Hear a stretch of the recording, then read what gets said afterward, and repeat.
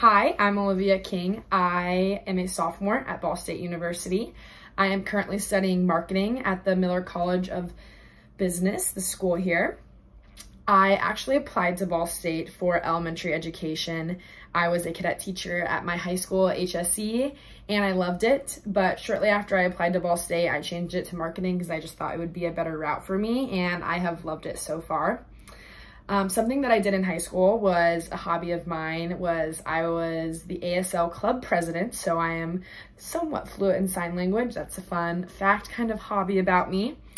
During the wintertime, I work at a jewelry store at Keystone Mall called Kinder Scott. And in the summertime, I work at a golf course in Noblesville called Sagamore. I do the tee times, the merchandise inventory, and I take all the golf department's phone calls. So that takes up my time in the summertime. Um, after school, I would love to do something in marketing IT, wherever that takes me, um, whatever company it takes me to, um, I will be very grateful. Later in life, I hope to get in the startup business and marketing IT. It's really booming right now and I would just love to be a part of that later in life after I've maybe done some networking and connections through marketing and sales route. So that's a little bit about me and I can't wait for the semester.